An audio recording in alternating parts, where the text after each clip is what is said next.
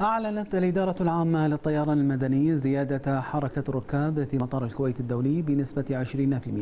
20% خلال شهر مارس الماضي إذ بلغ إجمالي عدد الركاب أكثر من مليون ومائة وأربعين ألف راكب. وأفادت الإدارة بأن حركة الشحن في مطار الكويت الدولي بلغت خلال الفترة المذكورة حوالي 24 مليون كيلوغرام مقارنة بشهر مارس من عام 2017